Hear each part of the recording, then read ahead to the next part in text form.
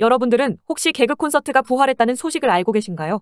과거 일요일 밤만 되면 개콘을 꼬박꼬박 챙겨보던 입장에서 팬심이 있는 편이지만 진짜 해도 해도 너무하단 생각이 드는 개콘의 근황을 보여드리죠. 일단 새롭게 시작한 개콘에서 대한결혼 만세라는 주제를 가지고 개그를 시작합니다. 그리고 개그를 시작하자마자 개그맨은 대한민국이 저출생으로 위기다라는 말을 던지고 시작하죠. 여러분은 저출생이라는 단어가 뭔가 이상하게 느껴지실 겁니다.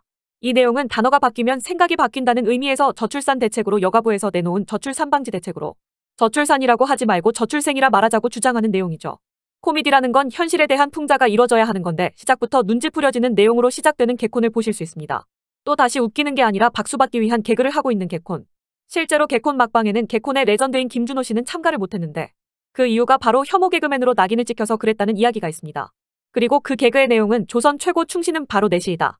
라는 내시터나 라는 개그를 했는데 내시들끼리 오늘 준비물은 뭘 준비했냐. 매니큐어를 준비했습니다. 라는 식의 개그를 했었다. 그냥 비하할 목적도 없었고 내시가 매니큐어 바를 수도 있지 않냐고 그거 개그했을 뿐인데 혐오 개그맨이 되어서 방송국에서 잠시 퇴출당했다는 김준호 씨. 개그맨들은 불펠러들의 심기를 건드리지 않기 위해 착한 걸 해야 한다.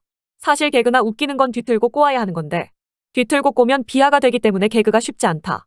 라는 말을 하면서 불편충들 때문에 개그가 힘들다 말하고 있죠. 그리고 한 개그맨은 오나미 씨 너무 예쁘고 맘씨도 착한 거 알아요. 하지만 못생긴 역할을 개그라는 장르상 해야 할 때가 있잖아요. 그러면 오나미 씨에게 1차원적인 직설로 해야 하는데 그 1차원적 개그를 하면 난리가 난다. 여성분들에게 뭐라고 하는 게 아닌데 제발 그런 거 가지고 싸우지 말았으면 좋겠어요. 그런 불편충 때문에 개그가 후퇴했다고 생각합니다. 라는 말을 하는 개그맨들을 보시죠. 지금 새롭게 시작한 개콘도 불편충들의 심기를 맞춰주기 위해 저출생이라는 단어를 사용하고 있습니다. 만약 진짜 재밌게 풍자하는 코미디를 하고 싶다면 저출산을 왜 저출생으로 해야 하냐고 풍자하면 안 되나요? 그게 여러분은 불편하신가요? 개그를 개그로 받아들여야 하는데 대한민국 불편충들은 그 어떤 것도 개그로 받아들여지지 않습니다. 내가 내 외모를 비하하면서 웃기겠다는데 왜 니들이 난리냐고 말하는 개그맨 못생긴 애들은 왜 못생긴 개그를 못하게 하는 거냐 라고 말하며 불편충들에게 일침을 날리는 개그맨들 여러분은 이런 내용들을 보고 어떤 생각이 드시나요? 우리가 어릴 적 월요일이 오지 않길 바라며 재밌게 봤던 개콘과 지금의 개콘은 어떤 모습입니까? 정말 보고 있으면 입꼬리 하나 움직이지 않는 이야기를 하며 여자들 심기 불편하지 말라고 개그하는 꼬라지를 보고 있자니 참 대한민국의 현실이 바로 개콘이라는 생각이 드는군요.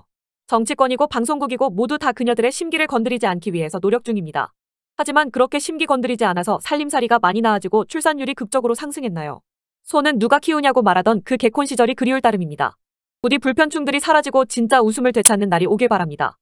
돼지에게 돼지라고 말도 못하고 못생긴 사람이 못생긴 개그도 못하는 게 그게 무슨 개그인가요?